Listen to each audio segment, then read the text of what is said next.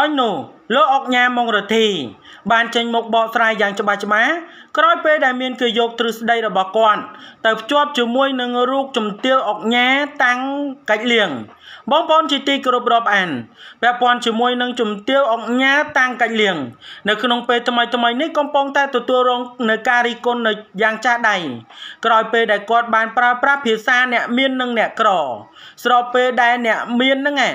គេក៏អាចជោគជ័យក៏ដោយសារតែអ្នកក្រនឹងសម្លឹងដើរថយក្រោយ អ្នកមានដើរទៅមុខជានិច្ចតែអ្នកក្រដើរថយក្រោយ នៅក្នុងសកម្មភាពមួយនេះគ្រាន់តែស្ដាប់នោះគឺធ្វើឲ្យ fan fan មួយចំនួន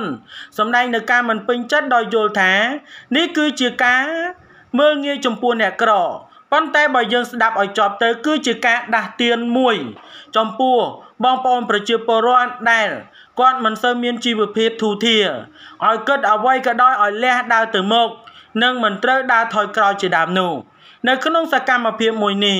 បានបង្កឲ្យមានការចាប់អារម្មណ៍យ៉ាងខ្លាំងដោយមានការយល់ឃើញផ្សេងផ្សេងគ្នា ថានេះគឺជាការដាស់តឿនខ្លះវិញថានេះគឺជាការមើលងាយខ្លះទៀតយល់ថានេះគឺជាករណីដែលប្រើប្រាស់ពាក្យសម្ដីមិនសមរម្យនៅពេលដែលគាត់ខ្លាចទៅជាអ្នកមានហើយដូច្នេះគាត់មិនយល់ថាអ្នកក្រលំបាកប៉ុណ្ណានោះទេដូច្នោះកុំឲ្យប្រិយមិត្តរបស់យើងរងចាំយូរសូមមេត្តាជួយ Subscribe និង Like ដើម្បីទទួលបាននូវព័ត៌មានថ្មីៗបន្ថែមទៀតក្រោយពេលដែលមានប្រជាប្រិយមិត្តជាច្រើន បានជ្រាបនឹងដឹងហើយថាក្រោយពេលដែលស្ដាប់ពាក្យប៉ុន្មានមែនរបស់ជំទាវអុកញ៉ាតាំងកាច់លៀងដោយមានពាក្យនឹងតាក់ទងជាមួយនឹងអ្នកមាននិងអ្នកក្រ ដោយលើកឡើងថាខ្ញុំឃើញតាក់ក្រ មានទម្លាប់អាក្រក់មួយ ហើយវាគឺជាចំណុចទម្លាប់ល្អរបស់អ្នកមានទៅវិញ អ្នកមានគេគិតរឿងទៅមុខ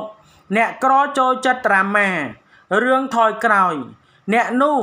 ដែលរឿងនេះគឺបានធ្វើឲ្យពុកម៉ែបងប្អូន ប្រជាពលរដ្ឋខ្មែរមិនតិចអ្នកនោះទេ បានធ្វើការខមមិនសម្ដែងនៅការមិនពេញចិត្តហើយក៏មានអ្នកខ្លះទៀតគ្រប់គ្រងចំពោះការលើកឡើងរបស់ជំទាវរូបនេះផងដែរបើយោងទៅតាមការបញ្ជាក់វាជាហេតុផលផ្សេងគ្នានឹងស្ដាប់ទៅម្យ៉ាងម្នាក់ នៅក្នុងនោះក៏មានអ្នកខ្លះបានយកទ្រឹស្ដីរបស់អង្គញាម៉ុងរទ្ធី ដែលគាត់បានមានប្រសាសន៍ថាកុំមើលរំលងអ្នកក្រព្រោះថាខ្ញុំមិនដែលឃើញអង្គញាសែនដែលសែងខ្មោចអង្គញាយកទៅកប់នោះទេនឹងទៅភ្ជាប់មកជាមួយនឹងទស្សនៈរបស់ជំទាវអង្គញាតាំងកិច្ចលៀងហើយក៏មានធ្វើឲ្យអ្នកគ្រប់គ្រងគ្រប់គ្នាមានការវែកញែក កាន់តែខ្លាំងឡើងខ្លាំងឡើងផ្អើលពេញបណ្ដាញសង្គម Facebook និង YouTube ដោយមិនយូរប៉ុន្មាននោះទេ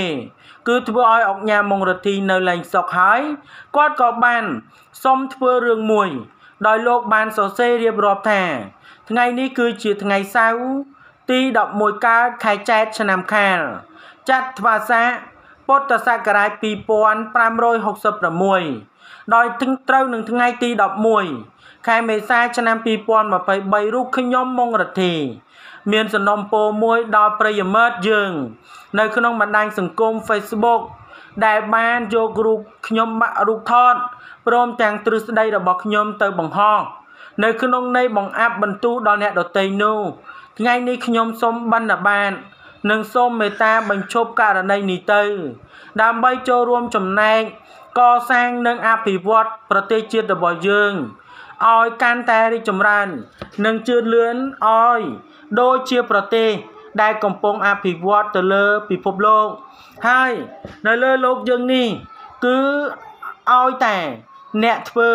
និងអ្នកនិយាយវាតែងតែមានកំហុសឆ្គងខ្លះខ្លះជាក់ជាមិនខានឡើយហើយចំពោះអ្នកដែលមិនធ្វើ និងមិននិយាយនោះតើបគ្មានកំហុសឆ្គងសូមមេត្តាអភ័យទោស បើមានកំហុសឆ្គងសូមអរគុណនៅក្នុងទ្រឹស្ដីដែលគេយកទ្រឹស្ដីរបស់អុកញ៉ាម៉ុងរទ្ធីយកទៅធ្វើនោះដោយមានដូចជាកុំរំលងអ្នកក្រព្រោះថាខ្ញុំមិនដែលឃើញអុកញ៉ាសែនខ្មោចអុកញ៉ាយកទៅកប់ទេ នេះសារនេះមានន័យដែរអ្នកមានលុយគឺគិតមិនដល់ដោយសេចក្តីគោរពនឹងមានការលើកឡើងយ៉ាងវែងអនឡាញផ្សេងផ្សេងទៀតដោយចំណុចព័ត៌មាននេះមានប៉ុណ្ណឹង ដើម្បីទទួលបាននូវព័ត៌មានថ្មីៗបន្ថែមទៀតសូម Subscribe និង Like